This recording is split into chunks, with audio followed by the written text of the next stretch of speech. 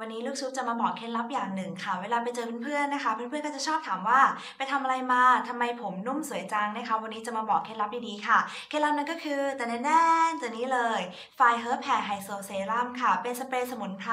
บำรุงเส้นผมใช้ฉีดเป็นประจำเช้าเย็นนะคะ ไม่ต้องล้างออก ซึ่งสเปรย์ตัวนี้ค่ะไม่มีกลิ่นฉุนนะคะ ไม่ต้องกังวลว่าคนรอบข้างเนี่ยจะได้กลิ่นนะคะ แล้วก็กล่องนี้เป็นกล่องใหม่แล้วนะคะ ของเดิมใกล้จะหมดวันนี้ก็เลยรีบมาจัดก่อนเลยค่ะ เดี๋ยวจะเปิดให้ดูนะคะว่าหน้าตาขวดก็จะประมาณนี้เลยค่ะ ซื้อได้เลยนะคะที่เว็บ thaicream.com หรือว่าที่เพจของไทยครีมนะคะแล้วก็มาเจอกันใหม่ได้เลยนะคะ